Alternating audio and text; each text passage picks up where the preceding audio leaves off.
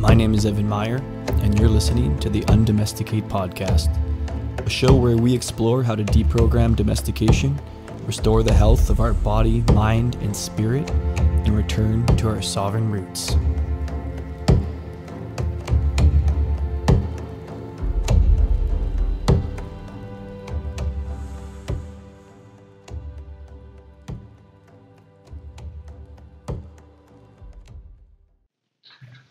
Right, folks. Here we are on the uh, Undomesticate podcast, and I'm really excited today uh, to be talking to Daniel Vitalis. Uh, Daniel is someone, and he may not know this because we literally just met 30 seconds ago, but he's someone that's been a huge influence for me about the last eight years. Uh, and I'll give a bit of context, Daniel, and maybe you can riff on this a little bit. But uh, I do want to start just by sharing some gratitude, honestly, for you and for the work that you've done. And the reason I want to share that is because I was in in Colombia in 2015, and this little town called Minca. I don't know if you've ever been that way, but kind of overlooking the Colombian coast, super beautiful uh, spot. And I was up helping construct this little eco village up in the mountains.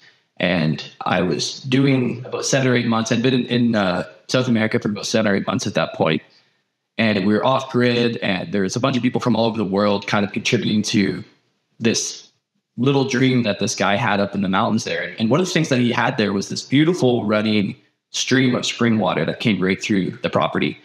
And i had been thinking a lot about how i consumed water and where my water came from and all these kind of things in the last year. And had been going through a pretty big awakening around you know food and nutrition and and livelihood and domestication and all that kind of stuff and while we were there, this woman brought up to me, she's like, Have you ever heard of this guy, Dan Vitalis?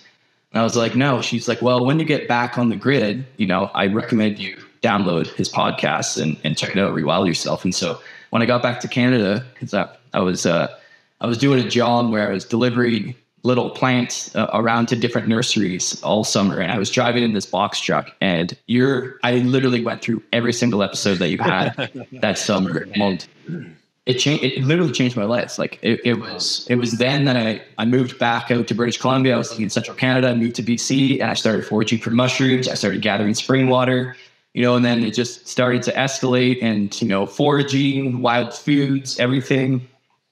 Uh, and it culminated into last year. I went on this 28 day primitive survival course with Boss. I don't if you've ever heard of them, Boulder Outdoor Survival School.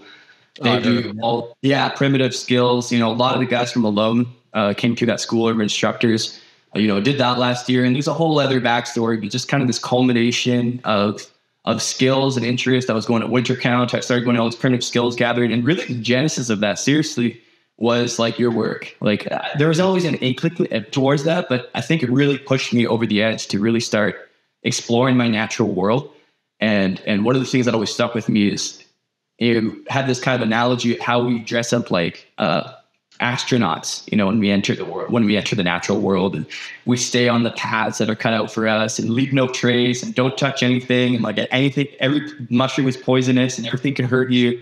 Uh, and then starting to develop this reciprocal uh, relationship with nature and, and how can I contribute to nature and how can I actually take from her ethically, but then also how can I be of place, like know my species, know the things around me, be able to name a plant and a tree, and what was so fascinating was as soon as I started getting into culinary and medicinal mushrooms, like when I ventured out into the world, my whole perception changed.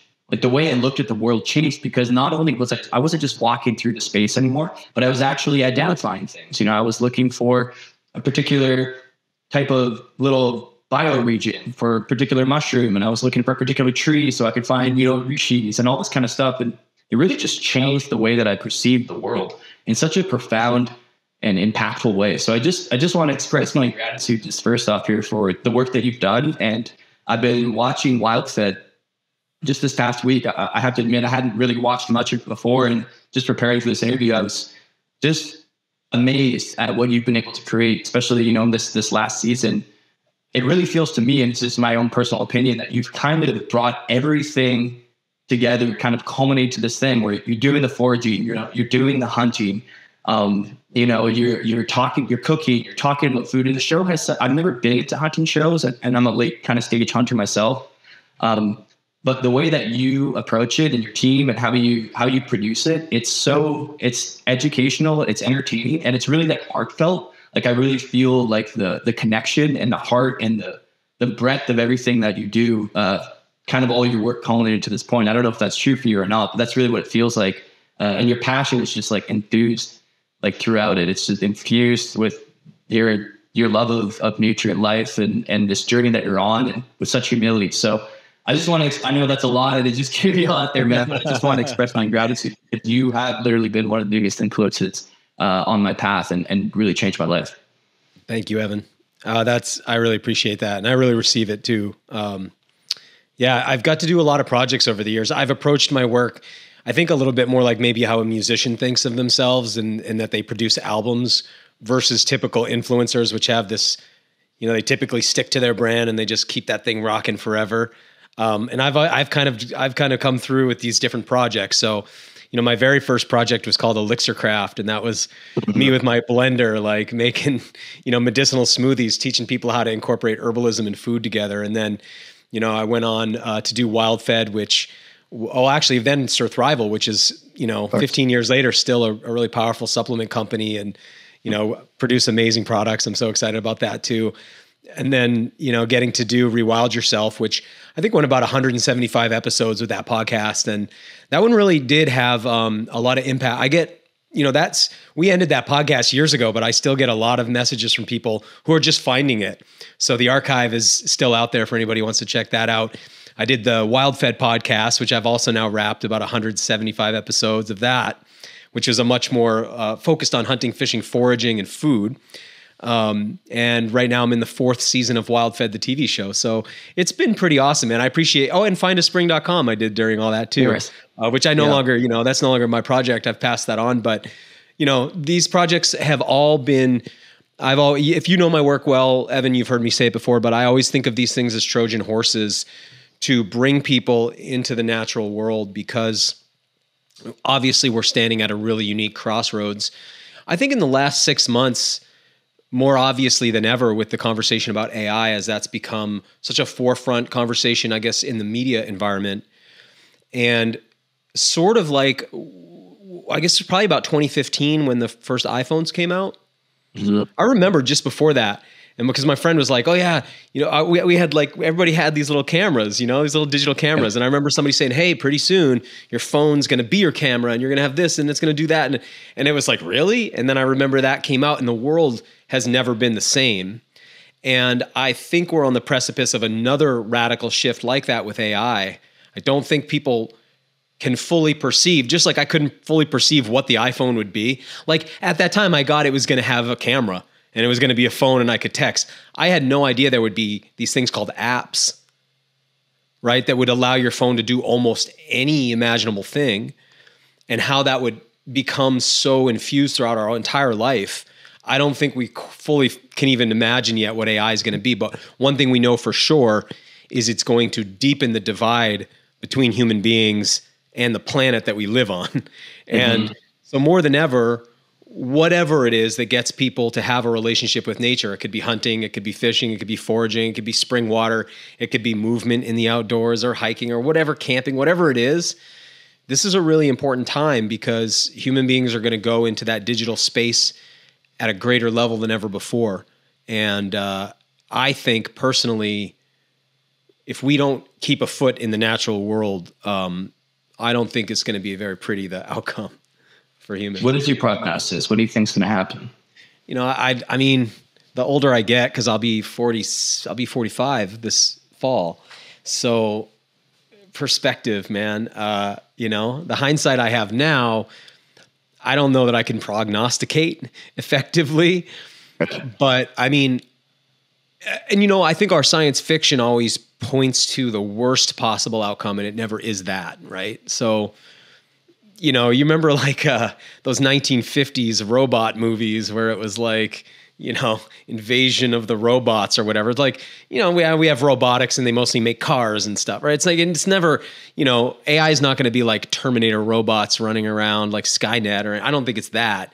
But I do think that in the way that most people have become, myself included, like massively addicted to our devices. I mean, just a straight addicted. Right? Like it's there's no other word for it. I mean, I've been addicted to things in the past. You know, I grew up smoking cigarettes. Like I, I you know, I know what addiction feels like.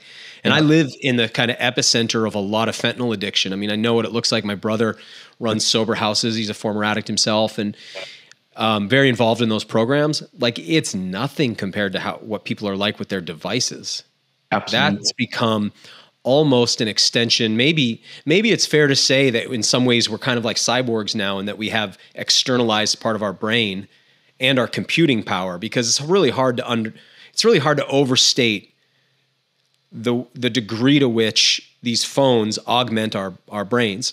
So as we head into what will be visual augmentation as well and audio augmentation and we start to integrate into a digital space. So you know you think of the trajectory of human beings in the last 300,000 years. We go from the wild environment to the domesticated agricultural or pastoral environment.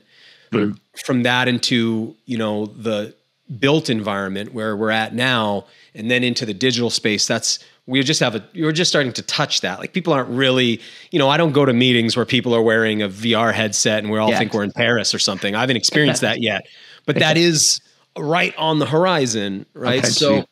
so i think that um, right now you were just talking about going into nature and recognizing things. It's like that's a really powerful space to be in particularly when you get past going into the woods trying to identify things. It's so interesting to me when you're at that point that you just know the things? Like um, in the way that you go to your family reunion and you just you don't like go in trying to identify who's who. You're just like no that's grandma that's my uncle that's my third cousin or whatever.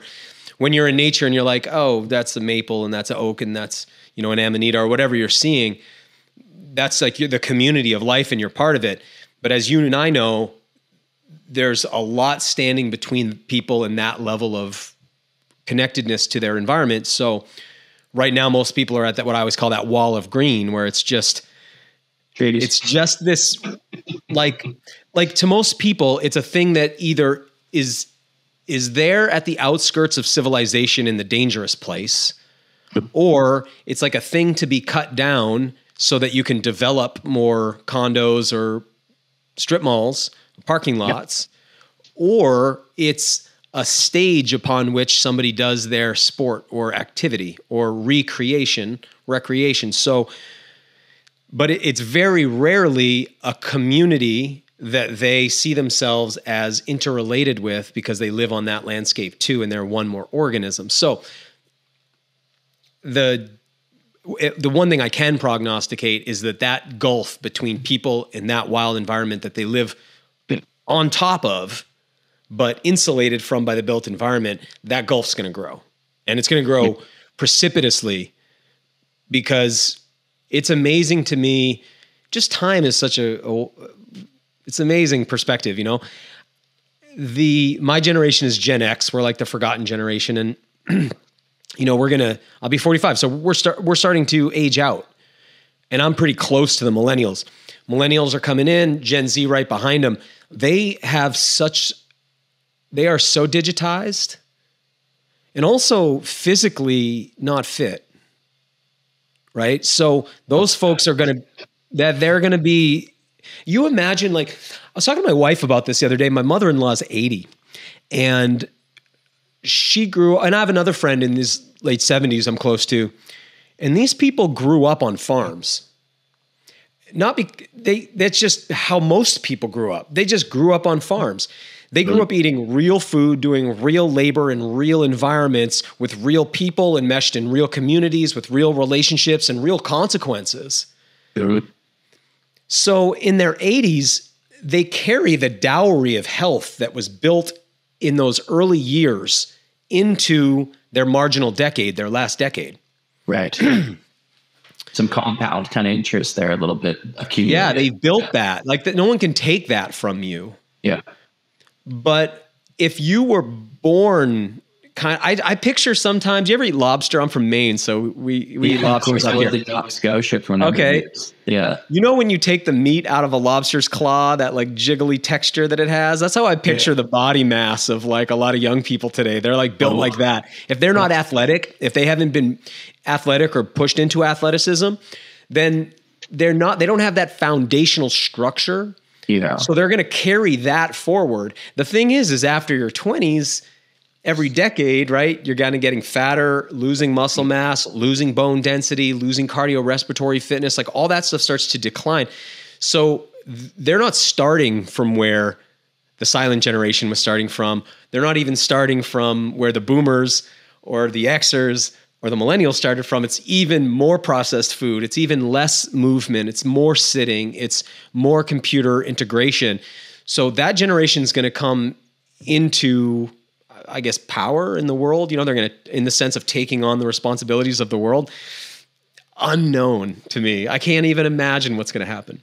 Yeah, and and and to that point, there's almost not only is like you know uh, the polarity of that. There's almost like a bi- biological regression with people actually getting ailments in, in the neck, in the in the hands, and the th- like the the curling in of our bodies, and and uh, the the constant use is it's you know to your point, three hundred thousand years of of evolution as a human, and then in in ten or fifteen years we have seemingly begin to restructure the way that our body is even held like Yeah. in time and space you know what i mean just pretty it, well it's terrifying in some regards right? And, and it's all these people know. Like I, I remember reading a statistic recently about the I think the average teenage girl spending six to eight hours on her phone per day per day. And then and then the the like kind of how coherent that is with the rates of anxiety and depression and social isolation like they they track you know it's almost like every additional minute you spend on social media you, you there's some x factor that's multiplying your chances of depression or anxiety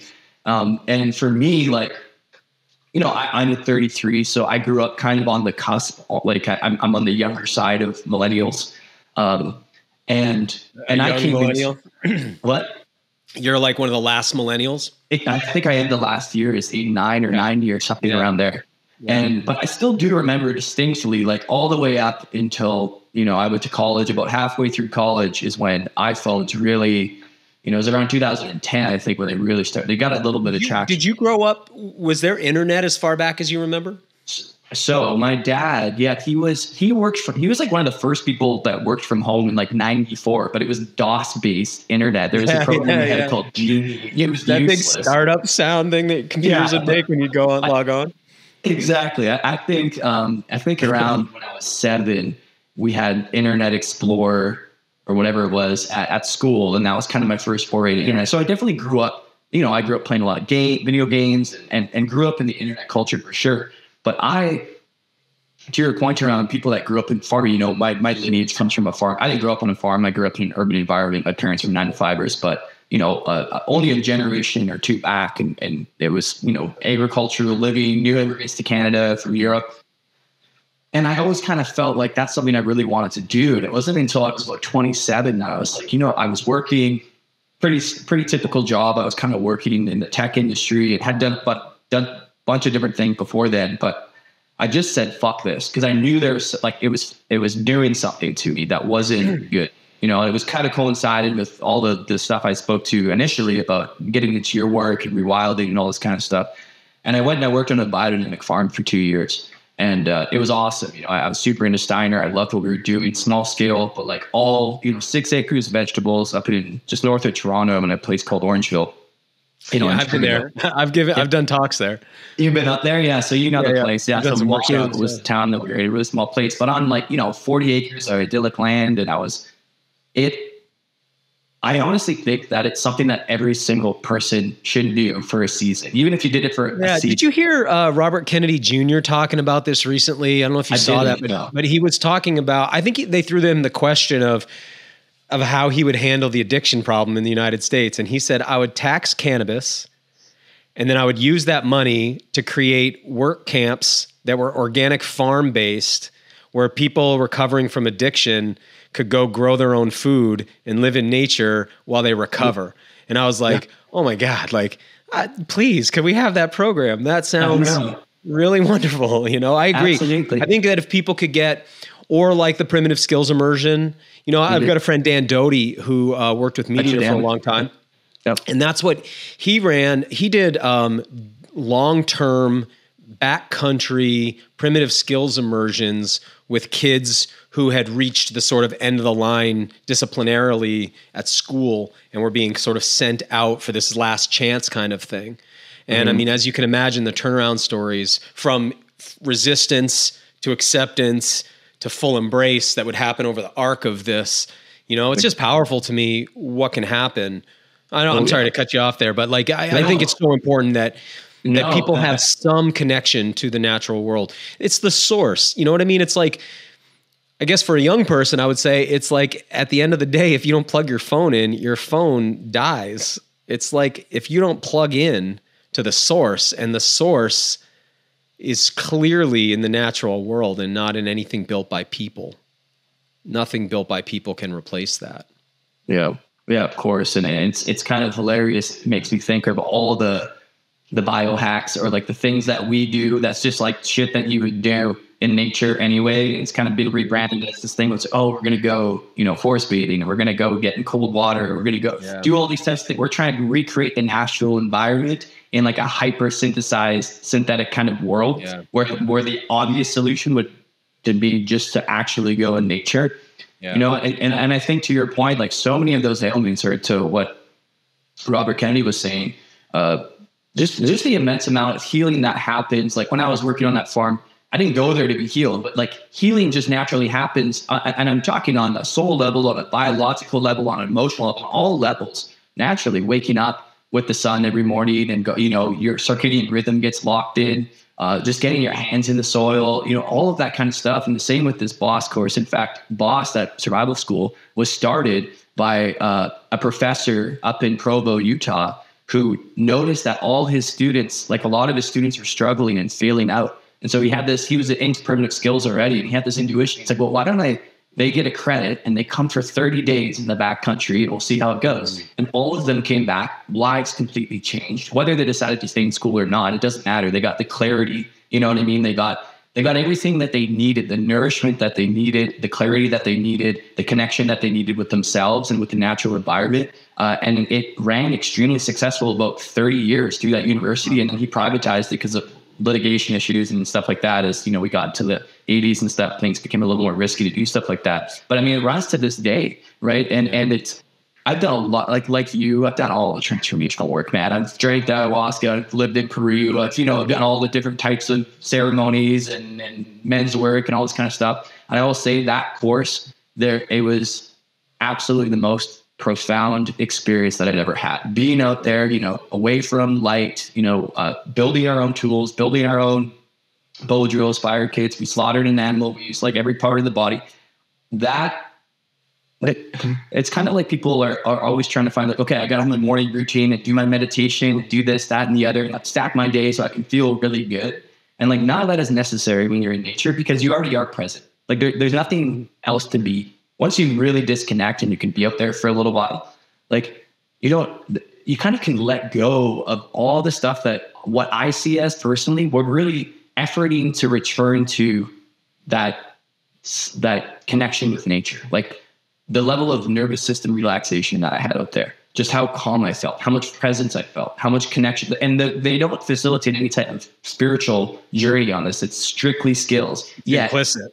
yeah, spirit is just infused in everything that you do. The, and the longer you spend out there, you know, I didn't want to come home. Like I was just, no, I'm getting, I'm like, and we had no tents. That's, we that's the interesting challenge about it because clearly you and I are sitting inside right now, and the the world is such now to go live that life is very difficult for m- several reasons, as you know. One is I think that it would be very difficult for my dogs to go live with wolves Yeah, they're absolutely. not really cut for it anymore. I mean, I come from generations of people who've lived an urbanized life, you know? So there's that. And then there's the economic reasons, right? We're sort of all caught up in this massive economic model. So that's another reason. Um, the there's only a small number of people, deep true believers, who are going to live that life.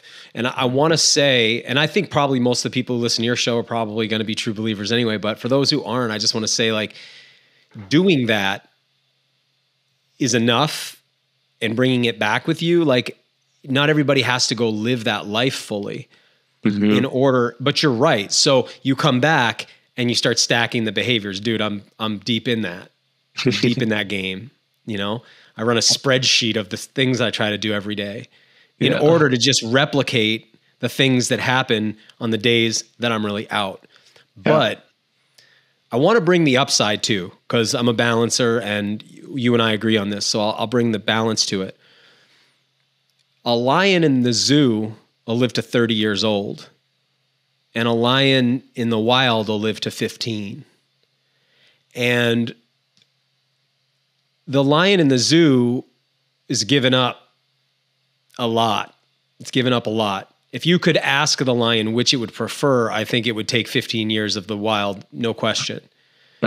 Rather than a surrogate form of replicated behaviors in a zoo made out of, you know, with a habitat made out of paper mache or whatever. It's like, it's all fake, you know? but for us today, if I can not only live to 90, but I can do it with joints that still work, if I can still squat, if I can still carry, if I can still play and laugh and run and be healthy, they, and I can have, in other words, if I can have the robust qualities that rewilding gives you, but I can get the longevity that domestication gives you, then I think that's one of the better outcomes because we, you know, hunting and gathering and doing my television show has been a really powerful lesson for me. So I've spent the last eight years pretty deep in that. You know, hmm. out of rewild, right at the end of rewild yourself, I was like, I'm going for this. You know, because I'd been talking about it philosophically and biohacking it as much as possible. But I was like, I'm going to really do the food thing. But what I know now is how that's barely possible. You can do it, but it's barely possible. The land where the best plants grow is also where people want to live. Right? So there's not a lot of open space where natural plant communities can live and thrive and you can forage. Hunting is still widely accessible in the United States, but highly, highly regulated. And Yeah. we don't have the ability to just, I mean, maybe if you go to Alaska, but let's face it, Alaska is not a place where a tribe of hunter gatherers want to live. There's no food really. It's like you want to live in these riparian zones, right? You want to live where there's like temperate zones with flowing water and floodplains. Like that's where unfortunately all the cities are. So it's not like we can go back to this and it'd be as you know too when you try to pull like hey well, let's all go live together as a community. This is like a it doesn't really work very well. So we can't kind of like return to it. So we've got we're here we are we're living in this built environment. We need to be effective in there or else we'll fail to thrive right? So fitness is your ability right to to to thrive in your environment. So i want to be fit for the built environment. I want to be fit, for the wild environment. I also want to be fit for the digital environment because i don't want to get left behind and crushed by that juggernaut either. I need to know how to make money in order to have the resources i need in order to continue to live the life i want to live in this coming world I don't want to do that at the expense of my ability to go into the wild or into the built environment either. I want like all three of those things because, and I want to sort of be at the center of the Venn diagram of those things. So there's so many, uh, it's easy to identify the problems with our domesticated life, but there are some benefits. Massive benefits too. Like- One probably being that, you know, you don't deal with the threat of interpersonal violence regularly, which is awesome because I'm not a big guy, so you know I get my skull bashed in in the old world. You know what I mean? Pretty fast. Like, like it's nice that I don't have to think about that on the day to day. You know, it's nice that like we have trauma medicine today, and it's nice that I can have. So the thing is, is what's interesting to me about it is domesticated life prevents all this wear and tear because nature's rough and tumble. So you don't you don't get a busted leg and like your life's kind of over. You don't get like the threat of violence constantly, infection constantly, irregularities in food, all, all those kind of things that happen in the wild environment. So you're like preserved, kind of like the way, like, you know, that people, when people are super stoked because they're like, yeah, I bought a car off an old lady who's been in her garage since she bought it and she's only driven it like three miles a week for the last 10 years. That's yep. like our bodies, right? The problem is under those conditions, we degenerate. Yeah. So without without all of those rough and tumble things, our bodies are go fall apart. So it's like we need all those stresses. We need hot and cold. We need to get our shoes off. We need to like deal with the stresses that we no longer have. We need to like subject ourselves to all of this hardship in order to make ourselves strong. You know, that's bit of a hormetic kind of lifestyle. You yeah. know, we have, to, we have to pick our challenges because and, we don't and, limit this and be diligent, dude. Like as you know, diligent because it's so easy to take it easy. Mm-hmm. So that's our problem is like, how do I subject myself to this stuff consistently enough over time that it builds the robust wild health, develops the connection to the natural world, but doesn't disadvantage me in the world. Because that's what I found personally in my forays into the primitive skills world is I meet a lot of people who have gotten so unadapted to the world we actually do live in. Absolutely. That right. they're marginalized by it. And so I bring that up. Um, you and I already agree and know about all of the rewilding component, right? Like that, we get that. So that's the piece I feel to say is that we have to be careful not to disadvantage ourselves moving forward because also part of this is sharing it with other people. Mm-hmm. And I have found that the worst way to try to convince a normie about this stuff is to show up in buckskins with no with dirty feet yeah. trying to be like, no, this is the better life. And they're looking at you like, dude, you look like a primitive homeless person. Totally. And so that doesn't work either, right? That's like so deep down the rabbit hole. That's who you want when you show up at your primitive skills class. But you don't want yeah. that person showing up telling you how you should live when you're in the city, right? So so it's like knowing how to walk. I think the movie The Matrix is like a great you see a great analogy. When they go into the matrix, they look the part. But when they're not there, they also look the part. And I think that's important for us to know how to walk in all these worlds. I, yeah, I totally agree. And I, I, I feel like that's really tactical. I noticed for me at the end of this, you know, and I'm just because it's it's kind of fresh in my mind. It was just less than a year ago. At the end of that kind of 28 day course that I did, right? I knew there was like an impending, like tomorrow I'm returning back to society, and there is some trepidation, you know, and there is uh, some some grief, really, and there was some excitement, of course. Like, oh my god, opening a fridge you know, and like having a thing full of food. like for the first week I got back there, like the shit that I took for granted that I just yeah. have to program my whole life, and, and, most people ever will, became a bed. Like, wow, this is fucking yeah. awesome. Like I yeah, have, obviously, you know, uh, we're we're steep in this world. You make a show that takes an immense amount of production and and digital assets and time and, and like very in this world. Travel you know, in hotel rooms, travel planes, everything that like yeah. you're not riding horseback to get to Molokai or whatever. You know, no, like, not. unfortunately, not. Yeah, yeah, but there it's for me I, I feel like i can walk that line and i think that's really important i think mm-hmm. most people obviously are are are, are way uh, on the on the one side of just pure like don't even have an awareness of what's available there. And i also think like people deep on that primitive skills it's almost like larping a little bit. Like that's that's not, my that's for me i mean it's important larping because it needs yeah. to be preserved but it, totally. there is something like it would make a great mockumentary, right? Of course, and and I, and I come there with that. Like I'm I'm not that kind of guy that shows up there and is like needs all the buckskin and stuff. But I do appreciate the skills because I yeah, of course they speak to a part of of my ancestry. Like I feel it in my DNA, if that makes yeah. sense. I don't know if you can recognize that. Yeah, Same when you take an animal. Like I remember the first few animals I took, and like by the second animal, I felt like, oh, this is I've done this a thousand times mm-hmm. because I have in some regard, you know, like the the thousands of generations before me right? I had had used a blade or a stone tool or something to move it along these lines, and everything just made sense. It, it, it came on very very quickly. Now I'm I'm not amazing at it, but the the essence of it, you know what I mean, yeah. came very fast because I think there's something there.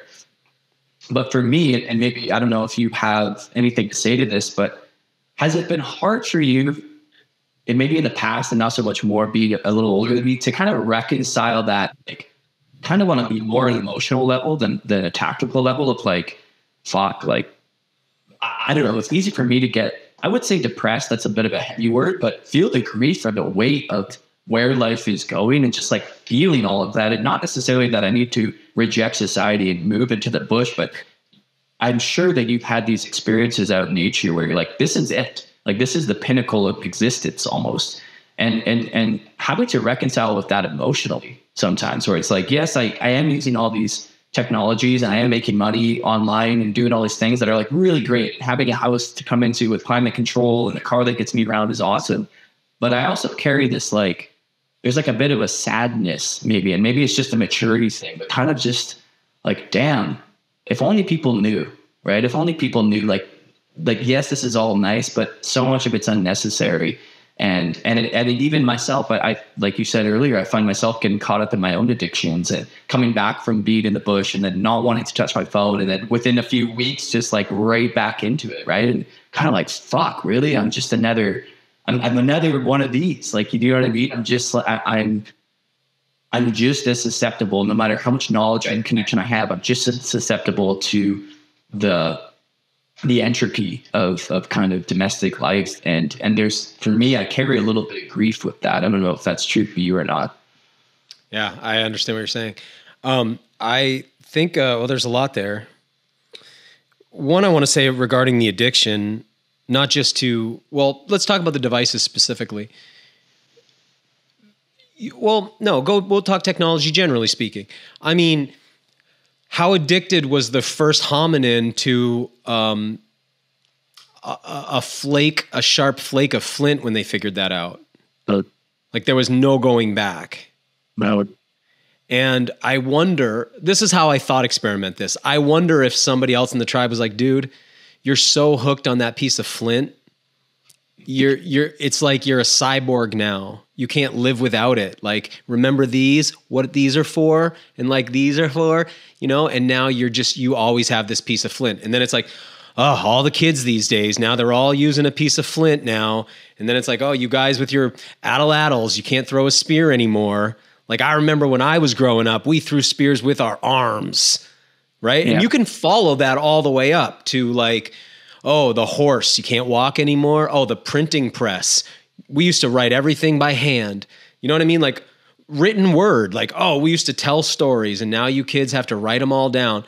You you are a enmeshed in a a flowing river of time space and an almost insignificant part of it, right? It's like both of us are like insignificant grains of sand caught up in the torrent of time space. This is where we find ourselves.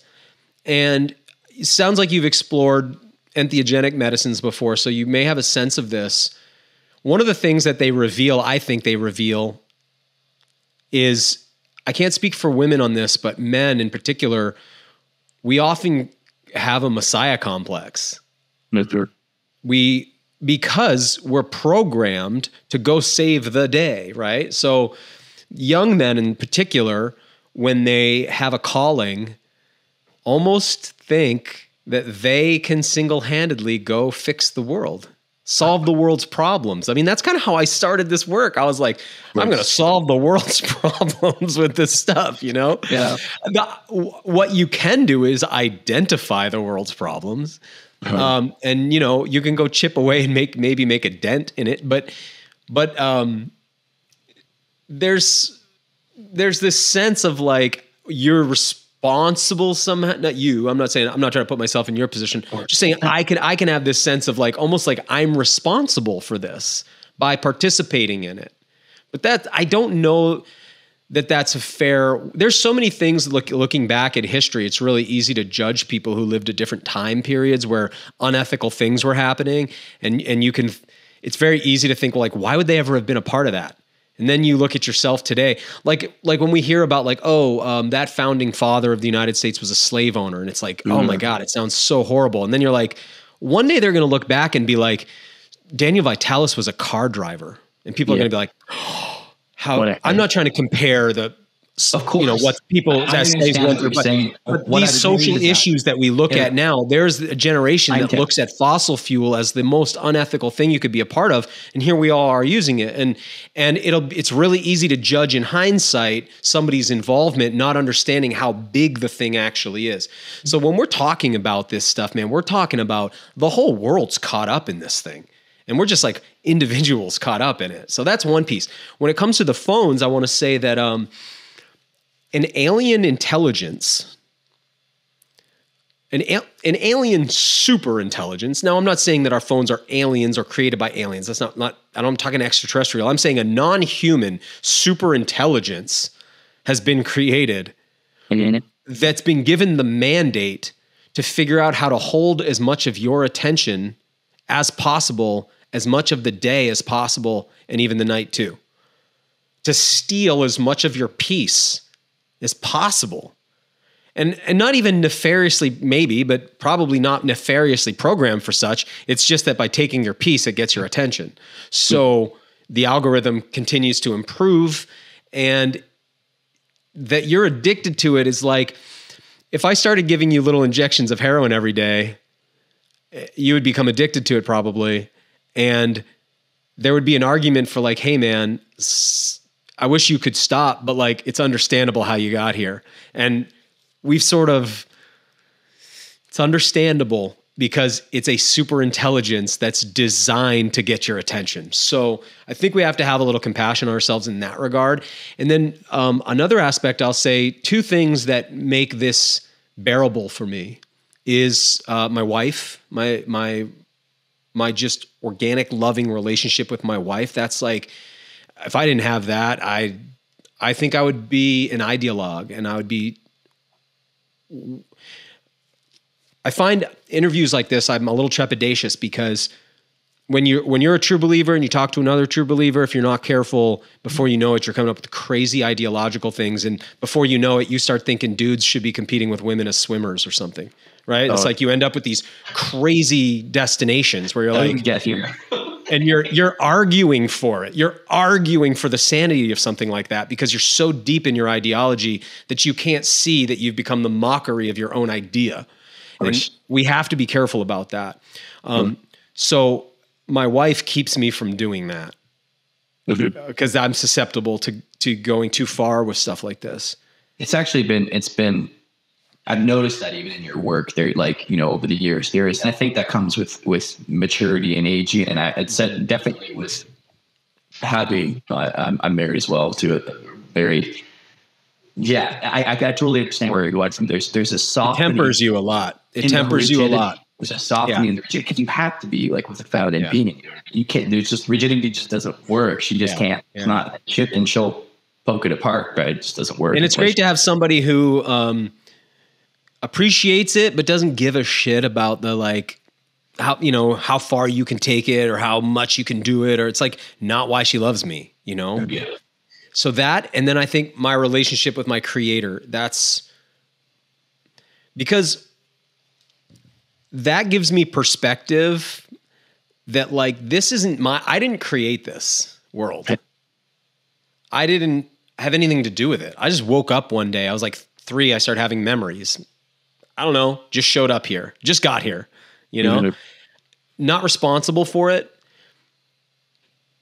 I try to I'm try today to look at it almost like a video game. Let's say you're playing a video game, like your character, you don't start the video game where the character is born and then you have to sit in a crib for 9 months and then, you know, you learn to walk. It's like you start sort of one day you just start going in the game, right? You're just playing. It's like here I am just playing, man. The conditions are not my responsibility, but I have to respond to those conditions. Um, my if I were to go live in the forest, I'm not going to really make a substantial impact on, let's say, the plastic problem. I mean, yes, I'm technically one less person using it, but that's not how we, we're getting out of this problem. Like, that's just, that would be so foolish to think that, right? And whether I use a roll of paper towels or a plastic bag, when you zoom out, it's like a thing happening at such huge scale at this moment in history, it kind of doesn't matter that much. What matters is what we anchor into the consciousness moving forward. Like for an example, like think about having come through the COVID experience where during COVID, I noticed that there was a lot of news stories that came out that like you're I'd read and I'd be like, that's not even true. That's not happening. Um, things were said that you're you're like, why would anyone even write that? It's not true. Uh-huh. Then what I realized is 50 years from now, that's all that remains, those articles. So people in 50 years, they're going to think what happened was as bad as the obnoxious articles you would read and stories you would see about how bad it was. When you were like, mm, was it that bad though? I don't think a lot of that even really I don't think that stuff really happened. Won't matter. You're gone. The articles remain. So it's yeah. written into the future in a sense. And so the things we record and the things we write, I think in some sense, and I know this is like anathema to to hardcore environmental folks, but like I personally think what you drop into the noosphere of consciousness matters a little bit more than if you participate in plastic stuff. Another way to say that would be George Washington having slaves, while not okay, what he put into collective consciousness had such a great impact on freedom later, even though he was participating in something that took away freedom at the time. Mm-hmm that he didn't create. He was just born into a world where that was a thing, and it wasn't just Africans. People were enslaved all over the world and had been all over the world. Slavery was just a thing people did forever, including indigenous tribes, as far as I know, as well. Slavery, oh yeah, yeah. like still happening now. Through all cultures, there's no yeah. idyllic culture that didn't participate. Right now, there are are black Congolese folks who have enslaved pygmy folks at gunpoint and use them as laborers. Native American people owned black slaves. Like this is a much more convoluted story than anyone likes to really look at. But my point is he was involved in something horrific. Yep. But he was also involved in something that later on turned into the greatest liberties for people that have ever existed, probably ever. I mean, that's one of the interesting things about where we are. In some ways, we're in this situation where it looks like, wow, we're losing liberties. Things are getting weirder by the day. But at another level, you're like, geez, has there ever been a moment out since the beginning of the agricultural revolution where people have had this level of freedom before? Probably not. So it's interesting. So my point is right now, I think it's more important that you don't go live in the bush permanently. Yeah. And instead, you do what you're doing because that I think is going to impact the future more than if you just pull yourself out. Because it's real convenient to be like, well, I remove myself. I'm going to go meditate in the cave. And it's like, oh, aren't yeah. you noble? Hey, how about out here where the battle's being fought? Why don't you mm-hmm. get out here and, and, actually get in it? Uh, so yeah. that's another hesitation I have. That said, I'm stoked that people do those things. Those things need to be preserved. We need people to do them. But when I look at like what I want to do with my life energy, I feel like I'm involved in a spiritual story that's unfolding in the world and I just got to have faith in my creator. I got to have mm-hmm the relationship that keeps me on point and just keep doing my work every day um, and trust that's enough because the reality is like like here's my my lifespan in little squares dude. And every week i check one of those off. Yeah. I'm headed to the grave dude. I'm in the process like you. We're we're dying. I mean it's just it's on right? So it's like no one gets out alive. So to me I just got to keep chunking away at the work every day and have faith and stay positive because the other thing that sucks is when people are so ideological. This is what sucks about all of these kind of woke characters these days. There's like um they're so disgruntled that it's like how can you be doing any good in the world when your attitude is so shitty? and you make people feel shitty and then you're like i'm making a better world it's like doesn't feel like you are so like we also have to be joyful. So that sadness, just to wrap a bow on all that, that sadness, which I understand exactly what you're talking about, and I think we could expand on that feeling. I mean, there's a lot to it. It's got to be put in the right context because if we let that become a, a compass for us, it actually leads, I think, in the wrong direction. Yeah. So a clearer, yeah. higher vibe compass is really crucial. It's almost, it's almost selfish to a degree. You know what I mean? To like, to, it's to indulgent exactly just to indulge in the emotion which is so funny because i think that's such a there's almost like this crusade for that i think that's where a lot of this wokeness comes from is because you know and this idea ideologues and the idea there's so much that you shared there but the idea of tarnishing someone's entire contribution to society because of one hiccup that they made, where contextually, if we go 30,000 feet in the air, it actually was pretty inconsequential at the time, mm-hmm. right? Like it was, it would have been, it would have been exactly like you driving a car in comparison or whatever that we, I, am sure 50 years people will be like, they were on their phone all day right, and the right. people, we're all going to come around. It's like lead paint, you know what I mean? And so staying in the grief, of course, is, yeah, it's a little bit of self-indulgent, but I also think, and, and maybe you agree with this, this is what I'm hearing from you, is it also is the muse to drive us to make an impact or to to live a life. Like like grief drives me towards spirit or towards creator right? Because there's like well i have to reconcile like, what is happening in life. I have to it, it's it's sense making right? And same with partnership right? Like even even the the ideology around what partnership looks like these days and the, the destruction of union and and marriage and, and all that kind of stuff and how it actually it further perpetuates our this the self-indulgent kind of part of humanity.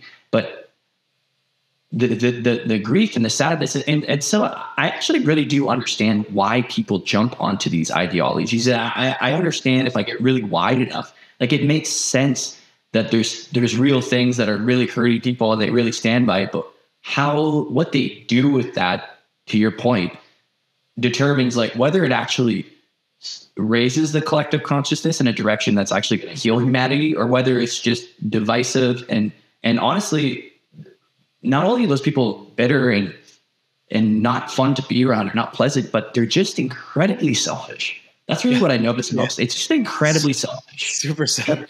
yeah. So, well, keep yeah. in mind though, too, you have. I was just listening to Jordan Peterson describe this recently. He was saying how there's like three percent of the population are sociopaths, yeah. and uh, sometimes the number goes up a little and sometimes it goes down a little.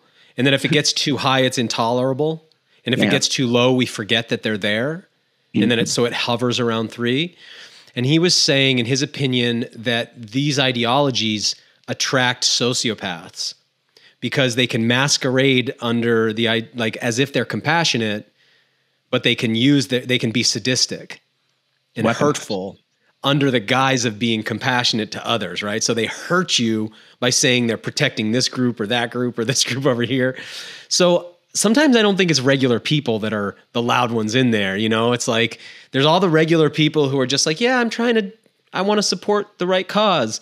And then you have these people pretending they do because some of the stuff doesn't even make sense. And you're like, man, some stuff you're like, okay, I kind of see that. Some yeah. stuff you're like, that's an evil motherfucker right there. Why would they say that? You know?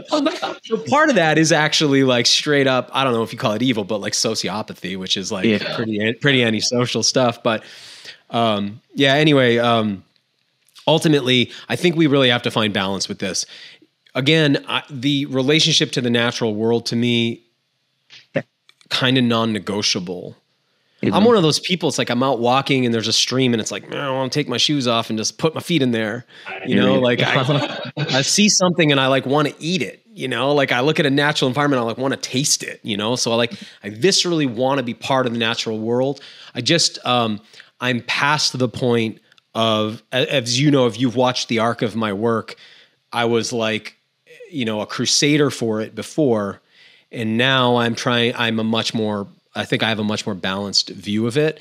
And also, I just think if I'm not happy, then I'm actually not helping.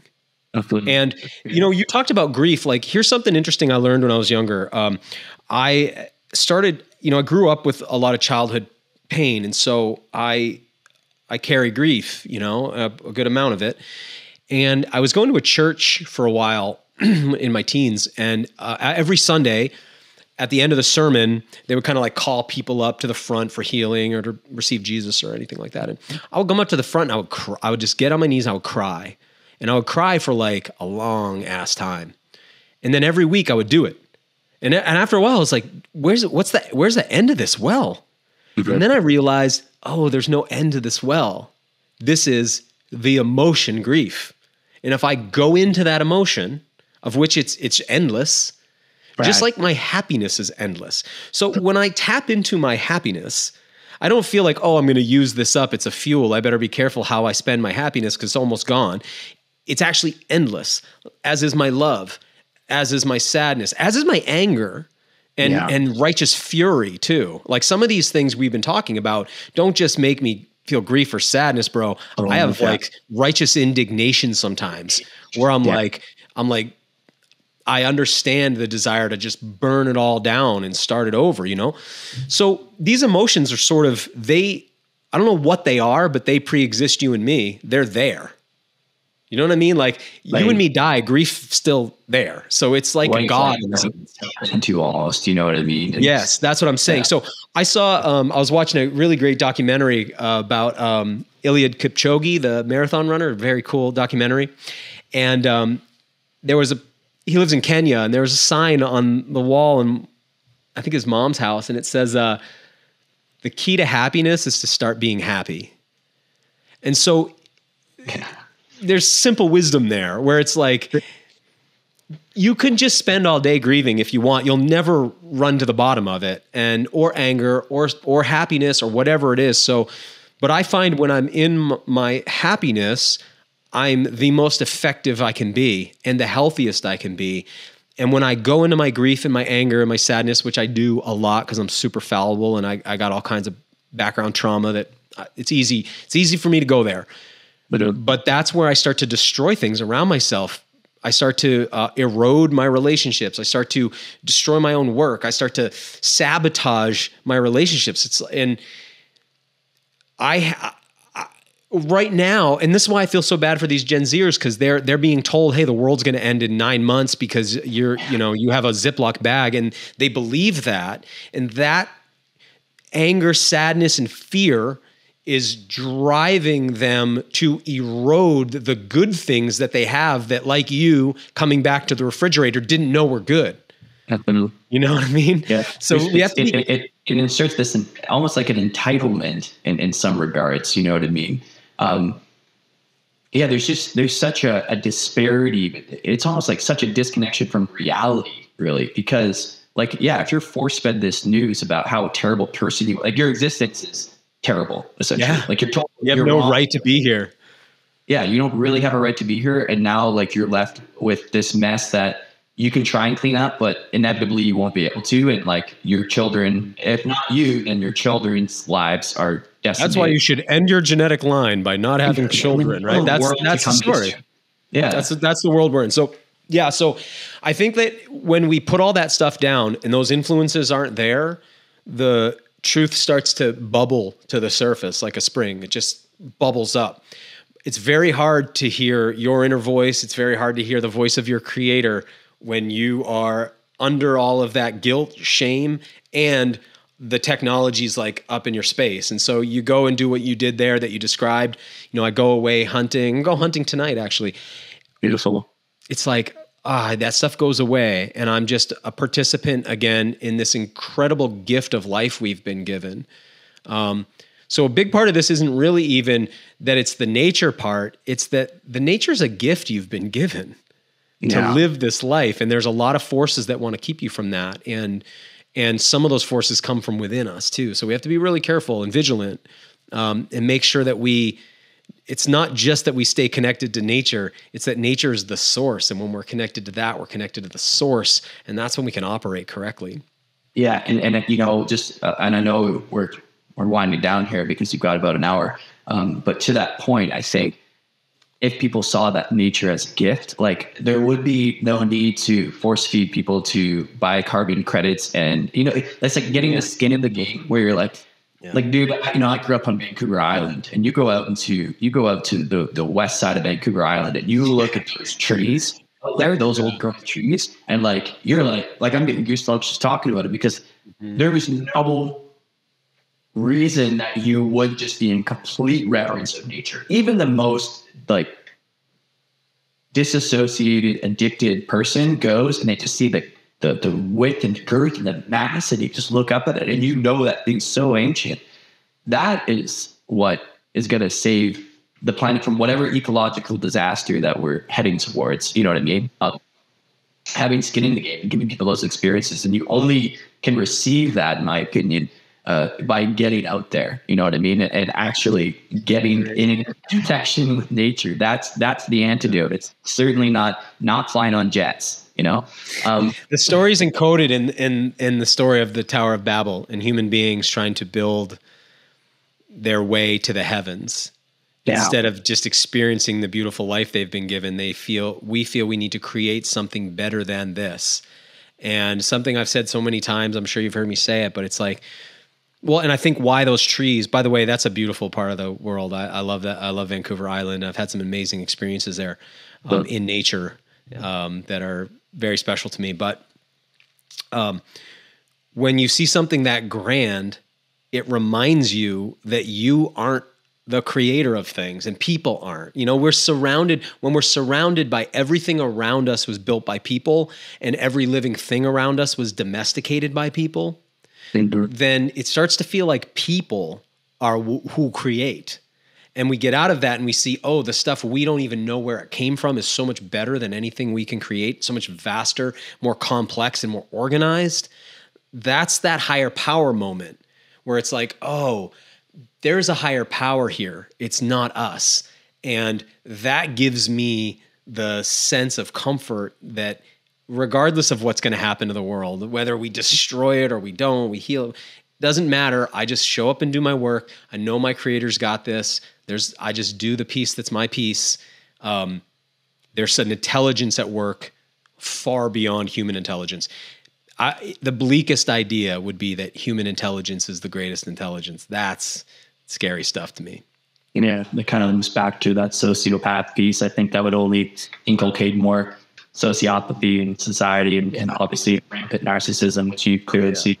And we can dive deep into that, but I, I know we're, we're next, next time. Next time, I'd love to come back and wrap with you again. I know you do most of your interviews in person, but uh, I would love to. I'd love to do this again with you sometime. Absolutely, yeah. Well, thank you so much, uh, Daniel. Like I said, this has been such a huge I've been really excited, and I just I just really want to uh, send some gratitude for you to just take the time and coming on today. I know you're a busy guy. What are you hunting tonight? I'm way? hunting deer uh, on a a farm that grows pumpkins, and they have nuisance tags. So normally here in Maine, you know, deer season's November. It's a very difficult hunting season. Actually, we have a very difficult deer hunt in Maine and a very small herd. But I can really reliably get venison in my freezer uh, night hunting on this farm. So uh, it's for me, I, it's like one of my favorite uh, hunts that I do all year. So it's just opened back up. So I'll head out there tonight and hopefully come home with uh, a deer for me, my wife, and my dogs. Yeah, that's incredible, man. Well, I wish you the best of luck. And uh, for people that are, you know, maybe not familiar with your work, why don't you just share where people can find you and kind of what yeah. you're up to? Yeah, well, probably the best place to connect with me is on Instagram at Daniel Vitalis. And, um, you know, my company is surthrival.com. So that's like survive and thrive. And, and we've got a pretty robust product offering there, including um, the first ever. Uh, we have the America's indigenous protein powder. We have a, a 100% hand foraged, wild harvested black walnut protein powder, which is just super cool to me. So, anyway, so that's surthrival.com. Um, of course, on podcast platforms, any of them, you can find both Wild Fed and Rewild Yourself. So, uh, about 300 episodes total in that somewhere in that zone. And then uh, my TV show is on Outdoor Channel Monday nights, um, but you can also find it on Amazon Prime uh, or uh, myoutdoortv.com. So if you want to see, we're filming the fourth season now, so there's three seasons out. Uh, so you know, the TV show is my most recent thing and the thing I'm kind of most excited about. So hope people go check that out for us. Yeah, thanks again. I highly recommend anybody check out Daniel's extensive catalog of work. You, you know, um, as well as Surthrival. I'm a I'm a big pine pollen and colostrum fan, oh, so I, got those cool. products in the kitchen right now. Right on, uh, like super high quality stuff. And uh, yeah, thanks again, Daniel, for coming here. Everybody, thanks for listening. And uh, yeah, we'll catch you next time on the Undomesticate podcast. Thanks, Evan. Thank you.